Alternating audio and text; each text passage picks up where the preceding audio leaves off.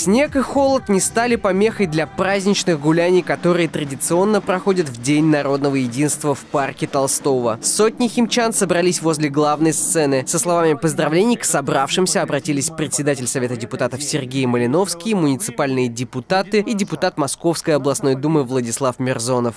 Наверное, одна такая страна на всем земном шаре, где мирно и дружно уживаются столько много народностей. Мы единая семья, мы живем все вместе, созидаем, защищаем Родину, творим открытие, творим будущее все вместе, плечом к плечу в нашей огромной большой стране под названием Россия.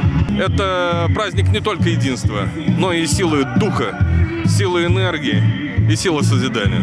Сегодня мы должны показывать, что у нас Россия страна с традиционными ценностями. Очень радуемся и поддерживаем все национальности, которые проживают в Российской Федерации.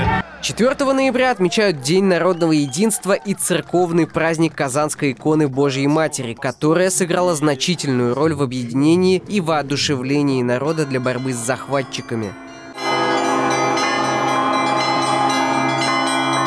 Колокольный звон ознаменовал начало крестного хода. У нас э, вся история нашей, нашего народа, она э, пропитана вот какими-то церковными событиями. Сегодня мы вспоминаем э, как бы ну, борьба с неким хаосом, да, как мы говорим, смутное время, которое было в 17 веке.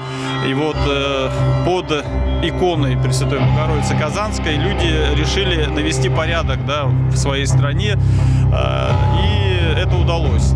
Флаговый флешмоб, барабанное шоу и не только. В этот день в парке Толстого были задействованы, как обычно, все площадки. Для самых маленьких детей мастер-классы и необычные активности. Например, любой желающий мог почувствовать себя воином раннего средневековья и пострелять из лука.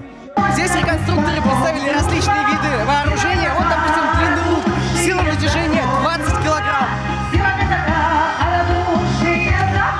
Обучали мастерством владения реконструкторы из московского клуба «Барс». Они активно вовлекают людей разного возраста в изучение истории путем таких интерактивов. Это с улицы, оружие 9 века. Чтобы ее кидать, надо найти сначала баланс, чтобы оно у вас лежало спокойно в руках.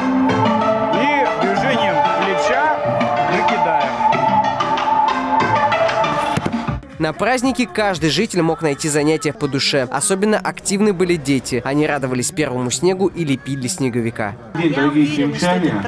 Добрый день, дорогие гости. Потому что Сердечно хочу поздравить вас с Днем народного единства.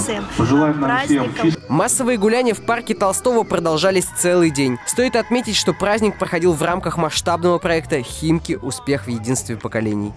Андрей Панченко, Дмитрий Бочаров. Новости Химки ТВ.